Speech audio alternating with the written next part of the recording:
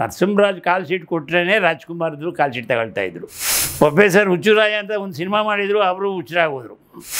ರಾಜ್ಕುಮಾರ್ ಅವರು ಹಾಕ್ಕೊಂಡು ದುಡ್ಡು ಆಗುತ್ತೆ ಅನ್ನೋದು ಆವಾಗ ಆ ಎಮ್ಮ ಡಿಸ್ಟ್ರಿಬ್ಯೂಷನ್ ಮಾಡುವಾಗ ಗೊತ್ತಾಯ್ತು. ಅದರಲ್ಲಿ ಪಾರ್ವತಮ್ಮಂದು ಭಾಳ ಒಂದು ಶ್ರಮ ಇದೆ. ಈಗ ರಾಜ್ಕುಮಾರ್ ಅವ್ರಿಗೆ ಯಾವ ಪಾತ್ರ ಕೊಟ್ಟರೆ ನಿಮ್ಗೆ ಆಗಲ್ಲ ಅಂತಿದ್ರೆ ಹೇಳಿದ್ದೆ ಹೇಳಿದ್ದಾರೆ ಹೇಳಿ ಸರ್. ಅವರ ಸಾವು ಹೆಂಗಾಯ್ತು ಅಂತ ನಿಮಗೆ ಗೊತ್ತಿಲ್ಲ.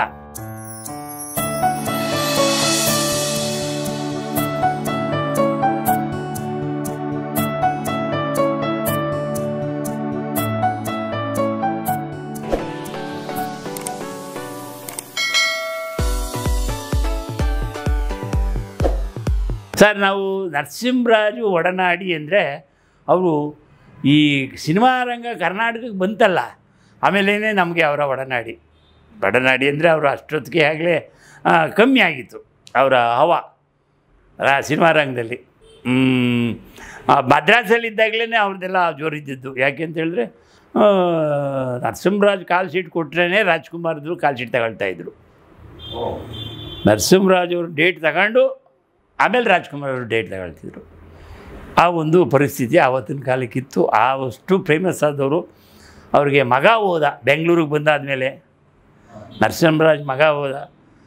ಪ್ರೊಫೆಸರ್ ಹುಚ್ಚುರಾಯ ಅಂತ ಒಂದು ಸಿನಿಮಾ ಮಾಡಿದರು, ಅವರು ಹುಚ್ಚರಾಗೋದ್ರು ಆ ಸಿನಿಮಾ ಹುಚ್ಚರಾಯ ಅಂತಲೇ ಒಂದು ಸಿನಿಮಾ ಮಾಡಿದರು.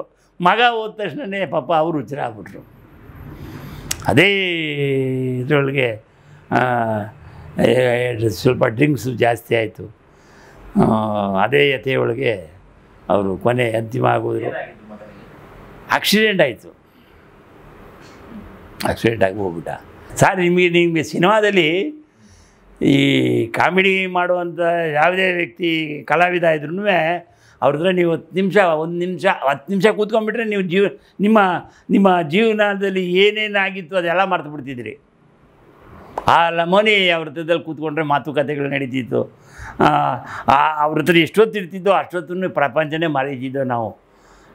ಹಾಗಾಗಿ ಆ ಕಲಾವಿದರು ಯಾವುದೇ ಕಲಾವಿದ ಇರಲಿ ಸರ್, ಈಗ ನಮಗೆ, ನಿಮಗೆ ದಿನೇಶನ್ ದಿನೇಶನ್ ಅವ್ರ ಕತೆ ಹೇಳಿದೆ ನೈಟ್ನಲ್ಲಿ ನಾವು ಜರ್ನಿ ಮಾಡ್ಬೇಕಾದ್ರೆ ಅವ್ರ ಕಣ್ಣೇ ಮುಚ್ಚುತ್ತಿರಲಿಲ್ಲ. ಯಾವ್ದಾದ್ರು ಒಂದು ಕಾಮಿಡಿ ಹೇಳ್ಕೊಂಡೇ ಬರೋರು ಹೋಗಿ ಸೇರೋ ತನಕ. ದಡ ಸೇರೋ ತನಕ, ಊರು ಸೇರೋ ತನಕ ಕತೆ ಹೇಳ್ತಾನೆ ಇರೋರು. ಹಾಗೆ ಕಲಾವಿದರು ಮಾತ್ರ ನಿಮಗೆ ಅವ್ರ ಹತ್ರ ಕೂತ್ಕೊಂಡ್ಬಿಟ್ರೆ ಈಗಿರೋರಿಗೆ ಏನೂ ಬರೋದಿಲ್ಲ ಯಾವ ಬರೋದಿಲ್ಲ. ಇದು ಹೇಳಿದ್ರು ತಪ್ಪಾಗುತ್ತೆ. ನಂದು ಬೇಕಾದ್ರೆ ಎಡಿಟ್ ಮಾಡಿ ಸಾಕ್ಬಿಟ್ಟು ಯಾಕೆಂದರೆ ಅವತ್ತಿನ ಕಲಾವಿದರು ಕೂತ್ಕೊಂಡ್ರೆ ಸಾಕು. ಏನಾದ್ರು ಹೇಳೋರು ಈಗ ಎಲ್ಲಿ ಅವ್ರ ಹತ್ರದಲ್ಲಿ ಕೂತ್ಕೊಳ್ಳೋದಿಲ್ಲ ಬಂತು. ಈಗ ಅದು ಯಾವುದೋ ಗಾಡಿ ಬಂದಿದೆಯಲ್ಲ ಅದ್ರೊಳಗಡೆ ಹೋಗಿ ಸೇರ್ಕೊಂಡ್ಬಿಡ್ತಾರೆ ಆಗ ನಾವು ಹಂಗಲ್ಲ. ಆ ಮೇಕಪ್ ರೂಮಲ್ಲೋ ಅಲ್ಲೆಲ್ಲ ಮರದಡೆನೋ ಜಕ್ಲಿ ಮೇಲೆ, ಕಲ್ ಮೇಲೆ ಕೂತ್ಕೊಳ್ತಿದ್ದೋ ಇವರು ಹರಟೆ ಹೊಡಿತಾನೆ ಇರೋರು, ನಾವು ಕೇಳ್ತಾನೆ ಇರೋವು. ಮಜಾ ಇರೋದು ಅಂತಾರೆ ಈಗ ಅದೆಲ್ಲ ನಿಮಗೆ ಸಿಗೋದು ಕಷ್ಟ. ಹೇಗಿರ್ತಿದ್ರು ಸರ್ ನರಸಿಂಹರಾಜ್ ಅವರು? ಭಾಳ ಚೆನ್ನಾಗಿರೋರು ಭಾಳ ಜಾಲಿಯಾಗಿರೋರು ನಂಗೆ ನಗ್ತಾ ಇರೋರು ಭಾಳ ಅದು ಎಲ್ಲಿ ಇಟ್ಕೊಂಡಿರ್ತಿದ್ರು ಅವರು ಆ ತಮಾಷೆ ಮಾಡೋ ಮಾತುಗಳನ್ನ ಅದು ಯಾವ ರೀತಿ ಕ್ರಿಯೇಟಿವ್ ಆಗ್ತಿತ್ತೋ ಗೊತ್ತಿಲ್ಲ ಅವ್ರಿಗೆ. ಮಾತಾಡ್ತಾನೆ ಇರೋರು. ಭಾಳ ಖುಷಿ ಖುಷಿಯಾಗಿ ಇರ್ತಿದ್ದೆ ಯಾವಾಗೂ ಸ್ವಲ್ಪ ಜೊತೆಯಲ್ಲಿ ಅವ್ರ ಜೊತೆಯಲ್ಲಿ ಭಾಳ ಒಂದು ಒಡನಾಡಿಯಾಗಿರ್ತಿದ್ರು ಅವರು ನರಸಿಂಹರಾಜವರು ನಾ ಕಂಡದ್ದು ಅಷ್ಟೇ ಅವ್ರನ್ನ ಹಾಗೆಲ್ಲ ಇನ್ನೂ ಅವ್ರ ಮಗಳು ಸುಧಾ ನರಸಿಂಹರಾಜು ಅವರೆಲ್ಲ ಚೆನ್ನ ಮಗಳು ಇನ್ನೂ ಅವಾಗ. ಆ, ಭಾಳ ದಿನ ಅವ್ರೂ ಇದಕ್ಕಾಗಲಿಲ್ಲ ಮಗನೇ ಹತ್ತಿರದಲ್ಲಿ ಭಾಳ ಬೇಗ ಹೋಗ್ಬಿಟ್ರು ಸರ್. ಹೌದು ಭಾಳ ಸಿಂಪಲ್ಲಾಗಿ ಬದುಕಿದವರು ಏ ಆಮೇಲೆ ಸಿಂಪಲ್ಲಾಗಿ ಅಂದರೆ ನಿಮಗೆ ದೊಡ್ಡದಾಗಿ ಬದುಕೋಕ್ಕೆ ಇದ್ರು ತಾನೆ. ಈಗ ಅಲ್ಲಿ ಏನು ಏನು ಮಾಡೋಕ್ಕೂ ಬೇಕು. ಏನು ಮಾಡೋಕ್ಕೂ ಇಲ್ಲ. ಬಟ್ ಮದ್ರಾಸಲ್ಲಿ ಇದ್ದಷ್ಟು ದಿವಸ ಭಾಳ ಕಷ್ಟದ ಜೀವನ ನಡೆಸಿದ್ದಾರೆ ಇವರೆಲ್ಲ ಆಮೇಲೆ ಆ ಗುಗ್ಗು ಜಂಗ್ ಗಂಜಿ ಕಿದ್ರ ಆದ್ರೆ ಒಂದು ಕನ್ಫ್ಯೂಷನ್ ಸರ್ ನನಗೆ. ರಾಜ್ಕುಮಾರ್ ಅವ್ರ ಡೇಟ್ಗಿಂತ ಮುಂಚೆ ಡೇಟ್ ತಗೋಬೇಕು ಅಂತ ನೀವು ಹೇಳ್ತಿದ್ರಿ. ಸೊ ಅಂತ ಒಬ್ಬ ವ್ಯಕ್ತಿ ಯಾಕೆ ತುಂಬಾ ಇದ್ರಲ್ಲಿ ಬದುಕೋಕ್ಕಾಗಲ್ಲ ಅವ್ರಿಗೆ? ಯಾಕೆ ರಾಜ್ಕುಮಾರ್ ಅವರು ಯಾಕೆ ಈ ರೀತಿ ಇದ್ರು? ಅವ್ರ ಜೀವನ ಯಾಕೆ ಈ ರೀತಿ ಆಯ್ತು? ಏನು ಏನಿದೆ ಕಾರಣ ಸರ್ ಮದ ಮದ್ರಾಸಲ್ಲಿ ರಾಜ್ಕುಮಾರ್ ಅವರು ಇದ್ದಾಗಲೂ ಕೂಡ ಅಂಥ ಒಂದು ಇದಿಲ್ಲ. ಅವ್ರಿಗೂ ಅಲ್ಲಿ ಜೀವನನೂ ಅವ್ರಿಗೇನು ಅಂಥ ಒಂದು ಇದಾಗಿರಲಿಲ್ಲ. ಒಂದು ಆ ಮನೆ ಒಂದಿತ್ತು. ಅದನ್ನು ಹೇಗಾಗೋ ಮಾಡಿ ಆಗಿನ ಕಾಲಕ್ಕೆ ಒಂದು ಸಂಪಾದನೆ ಮಾಡಿಕೊಂಡಿದ್ರು ಒಂದು ಮನೇನ. ಇವ್ರದ್ದು ಇತ್ತು, ನರಸಿಂಹರಾಜ್ ಅವ್ರದ್ದು ಇತ್ತು. ಬ್ಯಾಂಗ್ಳೂರು ಬರೋ ಟೈಮ್ನಲ್ಲಿ ಅದನ್ನು ಅವರು ನರಸಿಂಹರಾಜ್ ಅವರು ಮಾರಿದ್ರು. ಇವರು ಅಲ್ಲೇ ಬಿಟ್ಟು ಬಂದರು. ಅಲ್ಲಿ ಬಿಟ್ಟು ಬಂದರು ಅಂದರೆ ಯಾವುದೋ ಒಂದು ದಾ, ಸೀರಿಯಲ್ನವರು ಯಾರೋ ಆಫೀಸ್ನವ್ರಿಗೆ ಅದನ್ನು ಕೊಟ್ಟರು ಆಗ. ಆ ರಾಜ್ಕುಮಾರ್ ಅವ್ರ ಮನೇನ. ಬೆಂಗಳೂರಿಗೆ ಬಂದಾದಮೇಲೆ ತ್ರಿಮೂರ್ತಿ ಪಿಕ್ಚರು ಒಂದು ಸಿನಿಮಾ ಪಾರ್ವತಮ್ಮ ಡಿಸ್ಟ್ರಿಬ್ಯೂಷನ್ ಮಾಡಿದ್ರು. ರಾಜ್ಕುಮಾರ್ ಅವರು ಹಾಕ್ಕೊಂಡು ದುಡ್ಡು ಆಗುತ್ತೆ ಅನ್ನೋದು ಆವಾಗ ಆಯಮ್ಮ ಡಿಸ್ಟ್ರಿಬ್ಯೂಷನ್ ಮಾಡೋವಾಗ ಗೊತ್ತಾಯಿತು. ಆಯಮ್ಮನಿಗೆ ಅಲ್ಲಿಂದ ಆಚೆಗೆ ಅವ್ರಿಗೆ ದುಡ್ಡು ಹೆಂಗೆ ಬರೋದು ಅನ್ನೋದು ಗೊತ್ತಾಯಿತು, ದುಡ್ಡು ಮಾಡಿದ್ರು. ಅದಿ ತನಕ ಅವ್ರಿಗೂ ದುಡ್ಡು ಇರಲಿಲ್ಲ. ಅಷ್ಟೊತ್ತಿಗಾಗಲೇ ನರಸಿಂಹರಾಜು ಅವ್ರದ್ದು ಕತೆ ಮುಗಿದಿತ್ತು. ಅವರು ಬೇರೆ ದಾರಿ ಹೋಗಿ ಮುಂದುವರಿಯೋಕ್ಕೆ ಸಾಧ್ಯವಾಗಲಿಲ್ಲ. ಹಾಗಾಗಿ ಇವ್ರದ್ದು ಲೈಫು ಹಿಂಗಾಯಿತು, ಅವ್ರ ಲೈಫು ಹಂಗಾಯಿತು. ಅವರು ಕೂಡ ಬ್ಯಾಂಗ್ಳೂರು ಬರೋವಾಗ್ಲೂ ಕೂಡ ಬೆಂಗಳೂರಲ್ಲಿ ಮನೆ ಇಲ್ಲ. ರಾಜ್ಕುಮಾರ್ ಅವ್ರಿಗೂ ಮನೆ ಇರಲಿಲ್ಲ. ದೇವೇ ಪಾರ್ಕ್ನಲ್ಲೇ ಒಂದು ಸಣ್ಣ ಮನೆ ತಗೊಂಡಿದ್ದು ಫಸ್ಟು ಅದರಲ್ಲೂ ಆದರೆ ಆ ಮನೆಗೂ ಹೋಯ್ತಿರ್ಲಿಲ್ಲ ಇವರು ಯಾವಾಗೂ ಐಲ್ಯಾಂಡ್ಸ್ ಹೋಟ್ಲಲ್ಲೇ ಇರ್ತಿದ್ರು. ಯಾವಾಗೋ ಒಂದು ಸತಿ ಹೋಗೋರು, ಬರೋರು ಅಷ್ಟೇ. ಆಗ ಅದು, ಅದೇ ಪಾರ್ವತಮ್ಮ ಅವರು ರಾಜ್ಕುಮಾರ್ ಸಿನಿಮಾನ ಮೇಂಟೈನ್ ಮಾಡೋಕ್ಕೆ ಶುರು ಆದಮೇಲೆ ಎಲ್ಲ ಒಂದು ರೀತಿಯಲ್ಲೂ ಒಳ್ಳೆ ರೀತಿ ಮಾರ್ಗದರ್ಶನ ಆಯ್ತು ಅವ್ರಿಗೆ. ಇದು ಬೇರೆಯವ್ರಿಗೆ ಕಾಲ್ಶೀಟ್ ಕೊಟ್ಟು ಬೇರೆಯವರೇ ಸಿನಿಮಾ ತಯಾರು ಮಾಡ್ಕೊಂಡು ಹೋಗ್ತಾ ಇದ್ದರೆ ಅವರೂ ಕೂಡ ಏನು ಇದು ಮಾಡೋಕ್ಕಾಯ್ತಿರಲ್ಲ ಅದರಲ್ಲಿ ಪಾರ್ವತಮ್ಮಂದು ಭಾಳ ಒಂದು ಶ್ರಮ ಇದೆ. ರಾಜ್ಕುಮಾರ್ ಅವ್ರನ್ನ ರಾಜ್ಕುಮಾರು ಅನ್ನೋ ಒಂದು ಹೆಸರನ್ನ ಉಳಿಸೋದಕ್ಕೆ ಪಾರ್ವತಮ್ಮ ಅವ್ರದ್ದು ಭಾಳ ಶ್ರಮ ಇದೆ. ಯಾಕೆಂದರೆ ಆಮೇಲೆ ನಮ್ಮ ಜನ ಎಲ್ಲ ಏನಂದರೆ ಗೊತ್ತಾ? ಕೆಳಗೆ ಬಿದ್ದೋಗ್ಬಿಟ್ರೆ ಎತ್ತೋರು ಯಾರೂ ಇಲ್ಲ, ಆಮೇಲೆ ಕೆಳಗೆ ಬಿದ್ದೋದ್ಮೇಲೆ ಅವನ ಹೆಸರು ಹೇಳೋರು ಇಲ್ಲ. ಈಗ ದೇಶ ಆಳ್ದವ್ರನ್ನೇ ನೋಡಿದ್ದೀರಿ ನೀವು, ಎಷ್ಟೋ ಜನ ಎಷ್ಟು ಎಷ್ಟು ಒಳ್ಳೊಳ್ಳೆ ರೀತಿಯಲ್ಲಿ ದೇಶ ಆಳ್ದವ್ರದ್ದೆಲ್ಲ ಯಾರ್ದಿದೆ? ಏನು ಸರ್ ನಮ್ಮ ವಿಶ್ವೇಶ್ವರಯ್ಯ ಡ್ಯಾಮ್ ಕಟ್ ಯಾರು ಹೇಳ್ತಾರೆ ಅವ್ರ ಹೆಸ್ರನ್ನ? ಇವತ್ತು ಅವ್ರ ಹೆಸರು ಹೇಳ್ಕೊಂಡು ಅನ್ನ ತಿಂತಾರೆ.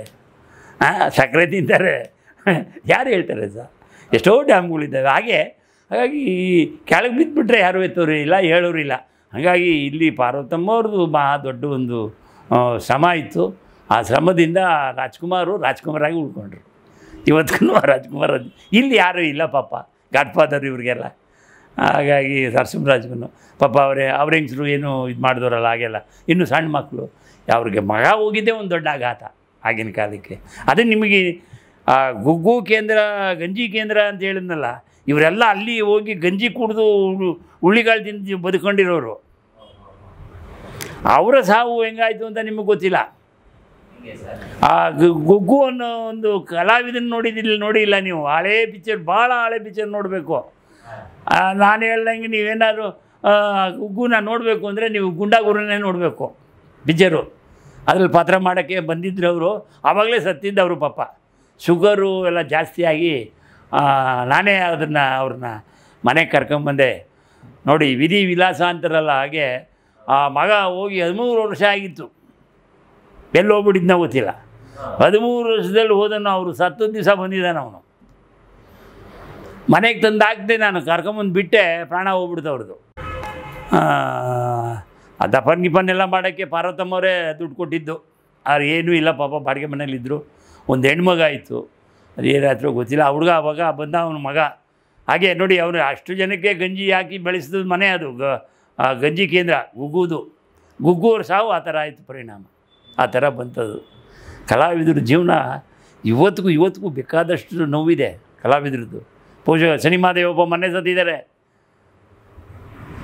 ನೊಂದು, ಬೆಂದು ಇಬ್ಬರು ಹೆಣ್ಮಕ್ಳು ಸಾಕಿದ್ದು, ಇದ್ದಿದ್ದಕ್ಕೆ ಮಜಾ ಅವರು.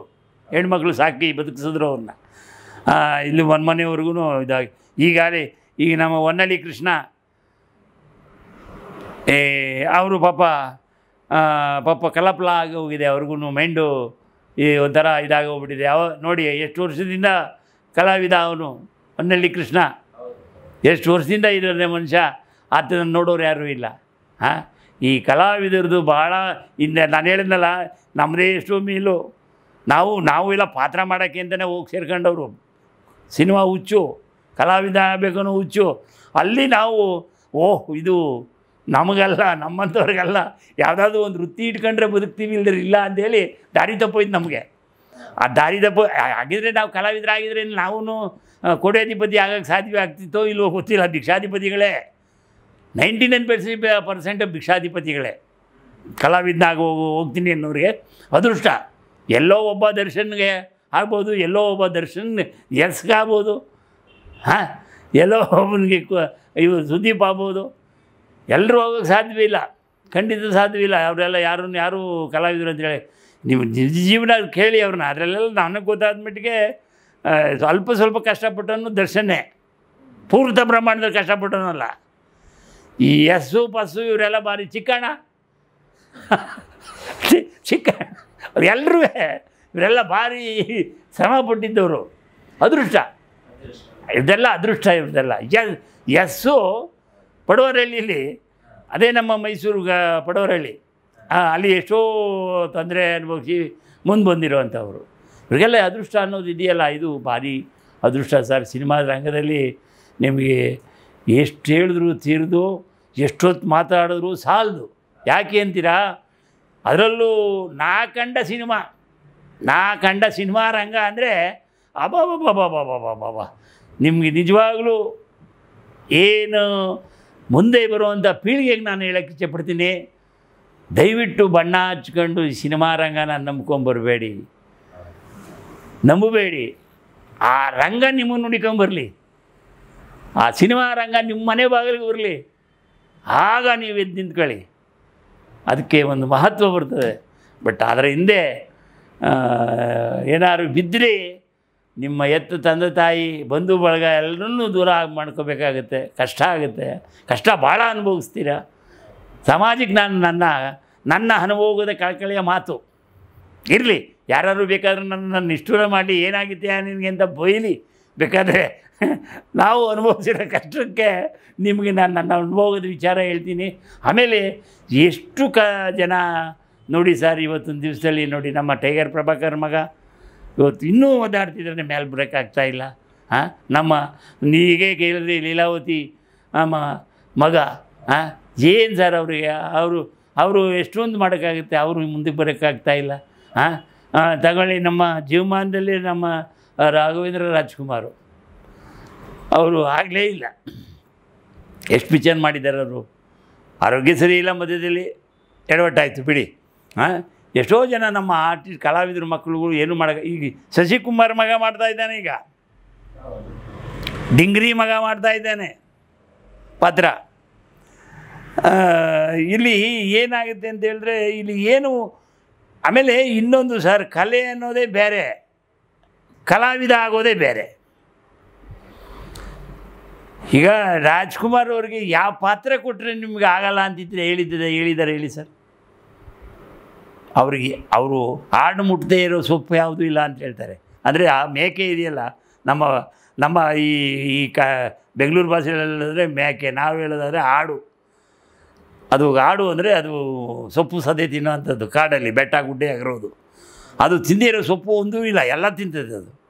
ಹಾಗೆ ರಾಜ್ಕುಮಾರ್ ಅವ್ರಿಗೆ ಯಾವ ಪಾತ್ರ ಹಾಕಿದ್ರೆ ಸಲ್ತಿರಲಿಲ್ಲ ಅನ್ನೋದನ್ನು ನನಗೆ ಹೇಳಿ ನೀವು ಅನುಭವದಲ್ಲಿ, ಹಾಂ? ಅದು ಅದು ಪಾತ್ರ. ಅವರು ಕಲಾವಿದ. ಅದೇ ಲೈನಲ್ಲಿ ಆಜು ಬಾಜು ಅಕ್ಕಪಕ್ಕಕ್ಕೆ ವಿಷ್ಣುವರ್ಧನು ಪಾತ್ರಧಾರಿ ಆಗಿ ಬಂದರು. ಅದರ ಪಕ್ಕಕ್ಕೆ ಆಗೋ ಈಗೋ ಅಂಬರೀಷ್ ಬಂದರು. ಕಲಾವಿದರ ಬಗ್ಗೆ ನಾನು ಹೇಳ್ತಿದ್ದೀನಿ. ಈಗಿರೋರೇನು ಕಲಾವಿದರಲ್ವೇ ಮಾಡಲ್ವೇ ಯಾಕೆ ಓಡಲಿಲ್ಲ ಮಹಾಭಾರತ? ಹಾಂ ಮಹಾಭಾರತ ಯಾಕೆ ಓಡಲಿಲ್ಲ? ಅಷ್ಟು ಕೋಟಿ ಖರ್ಚು ಮಾಡಿ ಡೈಲಾಗ್ ಬರೆಯೋರಿಲ್ಲ. ಆ ಪಾತ್ರ ಅವನ ಕೈಲಿ ಮಾಡಿಸೋರಿಲ್ಲ. ಅವನು ಅಜಾನುಭವ ಇದ್ದಂಗಿದ್ದಾನೆ ದರ್ಶನು. ಹಾಗೆ ದುರ್ಯೋಧನನು ಹಂಗಿದ್ನೋ ಇಲ್ವೋ ಗೊತ್ತಿಲ್ಲ. ಅದಕ್ಕಿಂತ ಹೆಚ್ಚಾಗಿದ್ದಾನೆ. ಅವ್ರ ಕೈಲಿ ಪಾತ್ರ ಮಾಡಿಸ್ಬೇಕು ರೀ. ಅದು ಡೈಲಾಗ್ ಡೈಲಾಗ್ ನಿಮಗೆ ಮಾತು ಪಂಚಿಂಗು ಅವೆಲ್ಲ ಇದೆಯಲ್ಲ, ಅವೆಲ್ಲ ಭಾಳ ಕಷ್ಟಕರ, ಕಷ್ಟ ಇದೆ. ಅದು ಯಾವ ರೀತಿ ಮಾಡಬೇಕು, ಏನು ಮಾಡಬೇಕು? ಏನು ಆ ಕಾಲದ ಹುಣಸೂರು ಕೃಷ್ಣಮೂರ್ತಿಯಲ್ಲಿ ಅವರೆಲ್ಲ ಬರೀತಿದ್ರು ಆ ಚಿ ಉದಯಶಂಕರು ಅವರೆಲ್ಲ ಹೆಂಗೆ ಅವರೆಲ್ಲ ಮಾಡ್ತಿರೋದು ಆ- ಒಂದು ಪೌರಾಣಿಕ ಒಂದು ಯಾವುದೇ ಆದ್ರೂ ಆ ಥರ ಒಂದು ಕಲೆ ಇತ್ತು, ನಡೀತು. ನಾವು ಇವತ್ತು ಕೃಷ್ಣ ಹೆಂಗಿದ್ದಾನೆ ಅಂತ ಗೊತ್ತಿರಲಿಲ್ಲ, ರಾಮ ಹೆಂಗಿದ್ದಾನೆ ಅಂತ ಗೊತ್ತಿರಲಿಲ್ಲ, ರಾಜ್ಕುಮಾರ್ ನೋಡಿ ಇವನೇ ರಾಮ, ಇವನೇ ಕೃಷ್ಣ ಅನ್ಕೊಂಡ. ಸಿನಿಮಾದಲ್ಲಿ. ಹಾಗಾಗಿ ಇವೆಲ್ಲ ಈಗ, ಈಗಿರೋರಿಗೆ ರಾಮನ ಪಾತ್ರ ಹಾಕಿದ್ರು ಇಲ್ಲ ಏ ಈಗ ಮೊನ್ನೆ ಸಗಣಿ ಪಾತ್ರ ಸಗಣಿ, ಈ ಕೃಷ್ಣನ ಪಾತ್ರ ನಮ್ಮ ರವಿಚಂದ್ರ ಅವ್ರಿಗೆ ಹಾಕಿದ್ರು. ಮಹಾಭಾರತ ಅಯ್ಯೋ, ಇರಲಿ. ಯಾಕೆಂತ ಹೇಳಿದ್ರೆ, ಅವೆಲ್ಲ ಪ್ರಯತ್ನ ಮಾಡುವಂಥದ್ದು ಮಾಡುವಂಥದ್ರ ಬಗ್ಗೆ ನಾನೇನು ಹೇಳೋದಿಲ್ಲ. ಅದು ಆಗಿನ ಕಾಲಕ್ಕೆ ಆಗೋಯ್ತು, ಇವತ್ತಿನ ಕಾಲಕ್ಕೆ ಹೀಗಿದೆ, ಇದನ್ನೇ ಅನುಭವಿಸ್ಬೇಕು. ಸುಖ ಪಡಬೇಕು, ಸಂತೋಷ ಪಡಬೇಕು. ಹಾಗಾಗಿ ಈ ಈ ಥರದ ಜೀವನ ಇದೆಯಲ್ಲ ಸರ್, ಹಳೆ ಒಂದು ಇದರೊಳಗೆ ಇದ್ದಂಥ ಕಲಾವಿದರು. ಅವರು ಪಟ್ಟಿರುವಂಥ ಕಷ್ಟ ಈ ಹಳೆಯ ಕಲಾವಿದರು ಈಗ ಉಳ್ಕೊಂಡಿದ್ದಾರಲ್ಲ ಉಳ್ಕೊಂಡಿದ್ರೂ ಸಹ ನೆಮ್ಮದಿ ಇಲ್ಲದೆ ಇವತ್ತು ಅನುಭವಿಸ್ತಾ ಇದ್ದಾರೆ. ಉದಾಹರಣೆ ಕೊಟ್ಟೆ ನಿಮಗೆ, ಈಗ ನಮ್ಮ ಹೊನ್ನಳ್ಳಿ ಕೃಷ್ಣ. ಆಮೇಲೆ ಆಮೇಲೆ ಆಮೇಲೆ ಬಂದರು ಟೆನ್ನಿಸ್ ಕೃಷ್ಣ ಆಗಿರ್ಬೋದು, ರಂಗಾಯಣರ, ರಂಗಾಯಣರಿಗೂ ಪರವಾಗಿಲ್ಲ, ಹೇಗೋ ನಡೀತಾ ಇರ್ತದೆ ಒಂಚೂರು. ಕೆಲವೊಂದು ಕಲಾವಿದರು ಟೆನ್ನಿಸ್ ಕೃಷ್ಣ ಮತ್ತು ಅವನೇನಾದ್ರು ಎಲ್ಲರೂ ಕೆಲವು ಆರ್ಟಿಸ್ಟ್ ಎಲ್ಲ ಭಾಳ ಜೀವನ ಕಷ್ಟ ಇದೆ. ನಡೀತಾ ಇರೋದು, ಇವತ್ತಿನ ಕಾಲಕ್ಕೆ ಭಾಳ ಹೆಂಗೆಂಗೋ ನಡ್ಕೊಂಡು ಹೋಗ್ತಾ ಇದೆ. ಹಾಗಾಗಿ ನಾನು ಹೇಳ್ತಾ ಇದ್ದೀನಿ ಬಣ್ಣ ಹಚ್ಚು, ಕೆಲಸ ಮಾಡೋಕ್ಕೆ ಹೋಗಬೇಡಿ. ಒಂದು ಸತಿ ಬಣ್ಣ ಹಚ್ಬಿಟ್ರೆ ಮುಗಿದೋಯ್ತು. ಎಡವಟ್ಟಾಗೋಯ್ತದೆ ಜೀವನ. ಅದು ನಾವೇ ಎಡವಟ್ಟಾಗಿ ಹೋಗಿದ್ದು ಏನೋ ಒಂದು ಸ್ಟೇರಿಂಗ್ ಇಟ್ಕೊಂಬಿಟ್ಟು ಬದುಕೊಂಬಿಟ್ಟು ನಾವು ಹೆಂಗೋ ಅನ್ನ ಅನ್ನಕ್ಕೆ ದಾರಿ ಆಗೋಯ್ತು ನಮಗೆ. ಇಲ್ಲಿದ್ರೆ ಭಾಳ ಕಷ್ಟ ಆಗಿರೋದು ನಮಗೂ